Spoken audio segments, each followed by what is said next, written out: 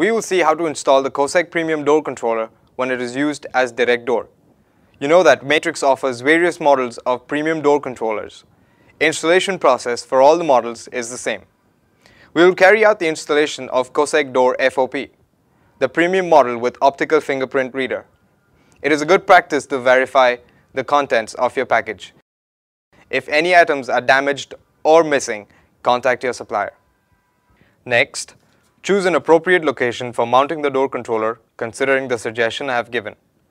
Then prepare the required opening which can accommodate various cables to be connected to the door controller. Door controllers come with mounting plates. Fix the mounting plate on the opening using the mounting screws at the chosen location. Then pass all the cables from various interfaces like door lock etc. through the mounting plate. Before mounting the door controller, let's connect all the cables for networking, power supply, input and output. We will now start with the RF module. The RF module is a pluggable card reader module. We call it Card Personality Module or CPM. CPMs are available in four different options like EM Prox, HID Prox, MIFARE Smart and HID iClass Smart. So COSEC products support different contactless card technologies which are widely accepted. You need to insert it at the rear side of the door controller and reader. Place the RF module in the slot provided. Press it gently to ensure that it is properly set. The external reader port supports a single reader with Wiegand or serial interface. As you know, Matrix offers various options for external readers. COSEC Reader CA with Wiegand or serial interface, COSEC Reader FO with serial interface, COSEC Reader FC with serial interface.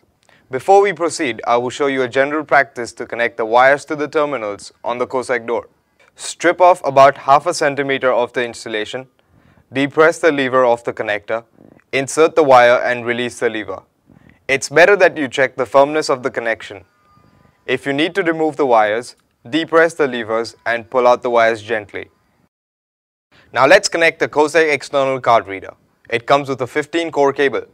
The reader end has a Relimate connector while the other end has a set of color-coded conductors. Prepare a suitable opening for exit reader at a suitable location. Use the mounting plate as template. Then pass the cables to connect the reader to the door controller. Let's see how to connect serial as well as Wiegand type of interfaces. The connection depends on the kind of their interface type. If you want to connect the Wiegand interface, it can be done this way.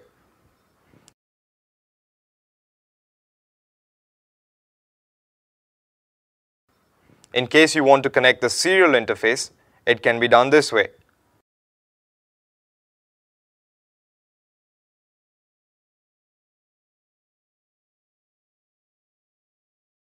Observe the difference between both types of interfaces.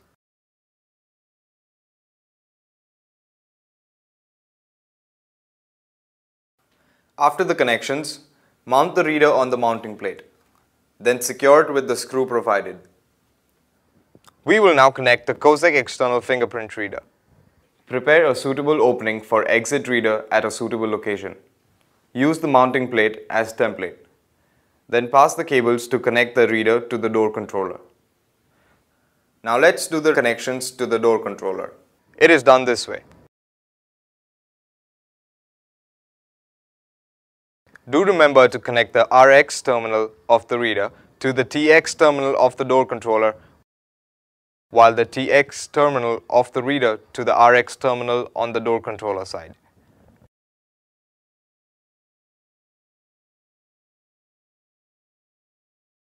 After the connections, mount the reader on the mounting plate. Then secure it with the screw provided. Now let's do the remaining connections to the door controller. You can connect different types of door locks with the Matrix COSEC door controller, like electromagnetic locks, bolt locks, strike locks, etc. On the top right of the COSEC door terminal strip, terminal numbers 21 to 24 are for the relay NO, COM, NC and positive 12 volt DC for the door lock. For using 12 volt DC power supply from the COSEC door, you need to short the positive 12 volt DC and the COM terminals prior to connecting the NC or NO and the 0 volt to the door locking device. Now connect positive end of the door magnet to terminal number 22 and negative end to terminal number 25.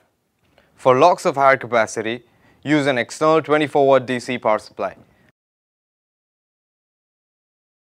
You can connect three different inputs to the COSEC door controller. You can keep a maximum distance of 600 meters for one line. The terminal pair 19 and 20 is assigned for the request to exit inputs, like exit switch. Similarly, the terminal pair 29 and 30 is designated as door contact inputs for sensing door status. For supervised inputs, you must connect the 4.7 kilo ohm end-of-line resistors like this. You can connect output from another device like smoke detector or fire alarm system to the auxiliary input port on terminal pair 31 and 32. Use the auxiliary output port to connect the external devices like siren or hooter, etc. You can use the DIP switches 1, 2 and 3 to load the default values of IP settings, password and system parameters respectively. Let me explain how to do this. Slide the switch to on position and supply power to the door controller. Then disconnect the power and restore the switch to its original position the door controller will load the factory default value for respective parameter. Now let's see how to connect the door controller to the COSEC application server using TCP IP. It is actually very simple. Connect the Ethernet cable from the LAN on which the COSEC application server is connected to this Ethernet port. Now we'll supply power to the door controller.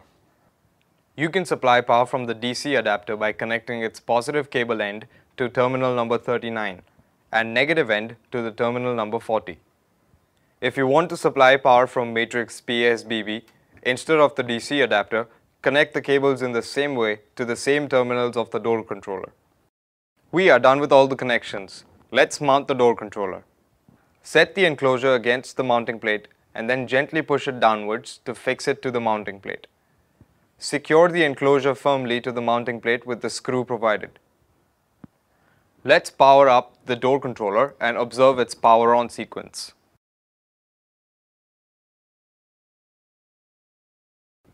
These indicator LEDs display various parameters. This flashes green when access is allowed. This flashes red when access is denied. This flashes red in the event of alarm. This flashes green when door is connected with COSEC monitor application in case when the Ethernet cable is connected, but the COSEC monitor application is not running, it flashes amber. In case of no connectivity with COSEC monitor application at all, it flashes red. You can now configure the IP settings directly from the door controller display as explained in the Direct Door user card or networking options chapter in the system manual. There we are. We have successfully completed the hardware installation of Premium COSEC Direct Door and it is ready for configuration and further use.